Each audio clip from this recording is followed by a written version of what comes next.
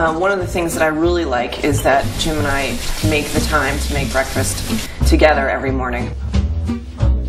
I love cooking with him. I really do. We that's what we've done. That's how we've met, and we dance. You know, when we're in the kitchen.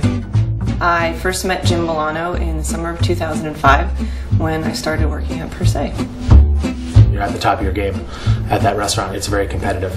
So the, my first reaction to Jen was, how do I be better than her? We used to go out after work a lot, and we became really good friends. I found myself really like confiding in him.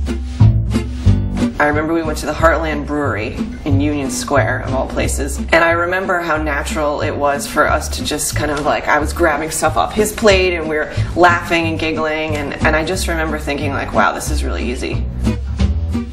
One week in March, um, Jim asked if I wanted to go up to Albany. She met my family, and it wasn't meant to be like me bringing my girlfriend home. It was it was just a here's a friend of mine from work. At that point is when it kind of solidified that here's a girl that I can split wings with and split a burger with, and someone who can go home and meet my family. And my family fell in love with her the first day. In May of 2006, Jim uh, was transferred to Bouchon to be the chef de cuisine, and I stayed at Per Se.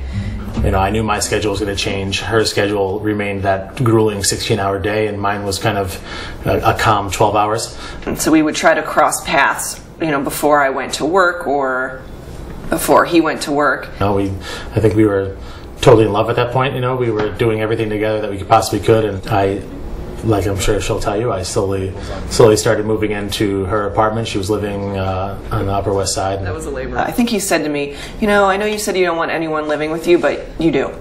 And then that, that was it. And I said, well, okay. Then he broke his lease. we can work that 16 hours a day together and have that crazy schedule and also live in a box and not uh, not freak out on each other. I think we realize that's kind of a testament to our, the strength of our relationship. I think. Jim came home one day and said, I really want a boat. And I thought she was going to say no, and I, you know, required a big commitment. She said, you know, just do it, just, just get it, and why not? It'll be fun. And it wasn't because of the boat, but it just made me realize that here's someone that just ultimately wants me to be as happy as I possibly can. This is someone I need, I need to be with more than just I want to be with, someone I need to spend the rest of my life with. So we took it out last year in August and we were we had plans to go to Block Island for a week and then to Nantucket, Martha's Vineyard, and Newport. I think it was the second day that we were out there. We went out for dinner, um, and prior to going out for dinner, Jim said, "You know, I really." want to go to a nice beach or something and I'm, I was starving and you know we were at this marina and we I got I thought she was going to find the ring so I, I took it and put it in my pocket he said I really want to see the sunset which I thought was totally bizarre. At that point, I was like, you want to see the sunset? It was a little bit cheesy, but it was one of those perfect moments. He kind of turned around and got down on his knee, and I think he he said, "You would make me the happiest man if you would agree to be my wife." And I just started crying immediately. I didn't. I was just crying, and yes, and we were both crying and hugging, and and it must have been a good three minutes later where he said, do you, "Oh, do you want to see the ring?" And he asked my dad, which was really, really special to me because my dad is totally my hero. And which was probably the scariest point in my entire life.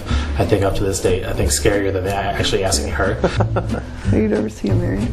Honestly, no, I'm not. No. I'm really not. But, you know. You're gonna cry.